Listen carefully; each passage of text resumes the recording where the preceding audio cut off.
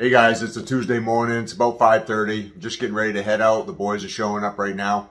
We got a greenhouse floor we're pouring today. It's a little different than our normal concrete floor pour, so I think you're going to like this one. So let's get on the road and check it out.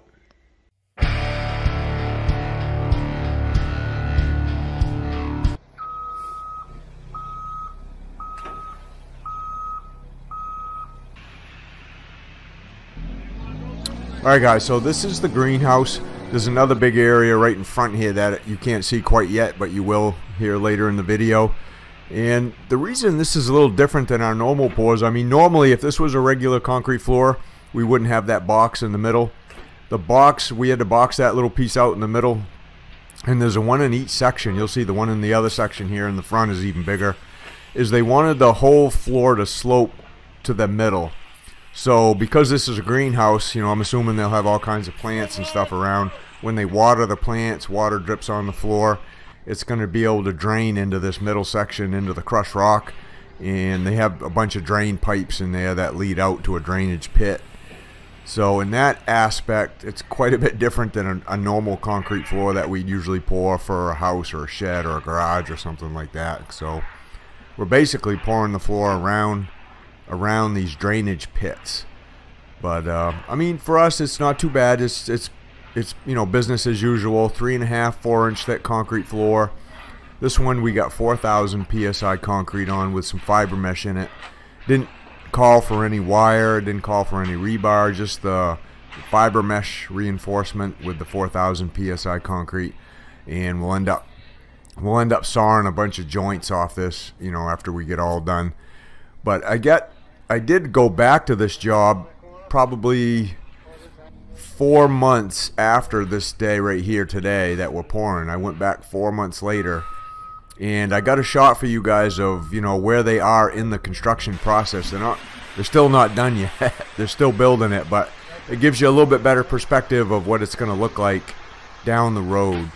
But right now I just wanted to show you the process of getting this floor poured and and then finishing it. Me and T are going to stay here and finish this by hand so that I got a little bit of that on the video coming up a little bit later too.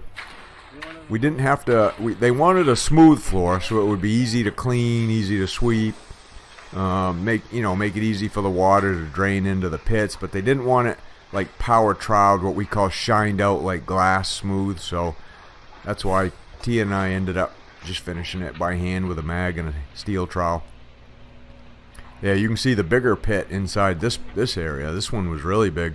Half the floor was that drainage pit area. So, you know, I don't know.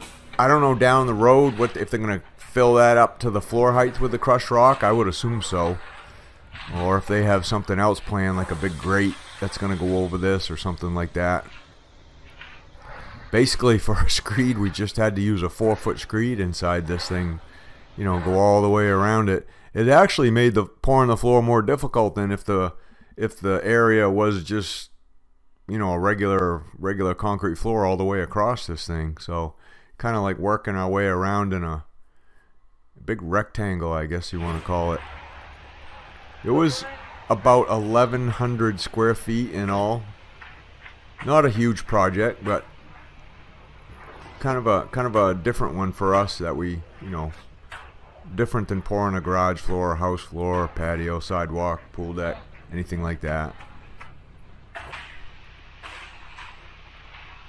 One thing that makes it nice is with four of us, you know, one or two of us can keep pouring out of the truck and keep the keep the pour going while the other ones get it down, get it flat, get it screeded, you know, magging the edges. Basically takes one person just to mag float the edges on a project like this. There's so many edges inside. Now,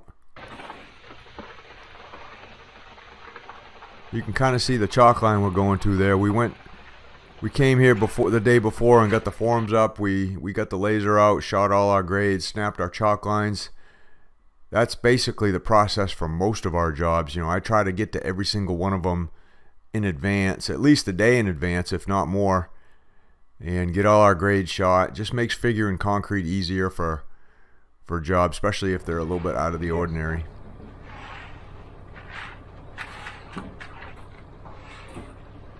A lot of bending over screeding with a small small rod. We're used to screeding with 12 foot, 14 foot rods, not 4 foot rods for a whole job like this. I get up there just scraping the chute down using my boot method. How many of you guys, let me know down in the comments if you scrape chutes like that or if you like my scraping chutes by the boot method. There's Brian the super driver over there. And then Darren's just going to finish it up with the bull float. Now, we got we got the hand finishing part coming right up.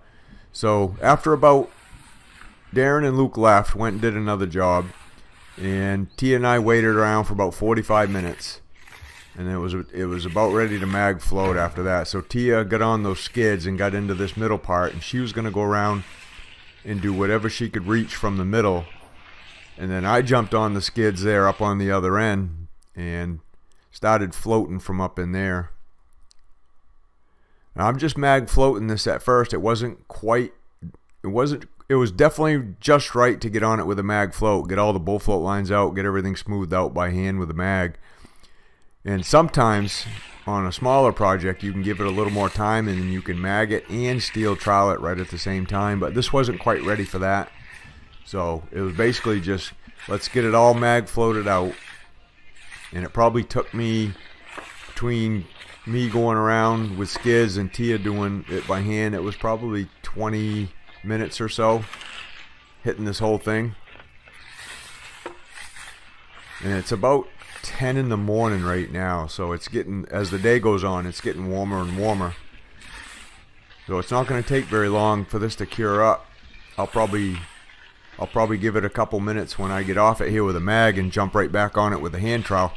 Because if I if I wait too long, then I'm not going to be able to get it steel troweled by hand. That's for sure. I'll have to. I do have a power trowel with me. If I did get in trouble by hand, I can always throw the power trowel on it. But we're trying to avoid that and just get it done by hand.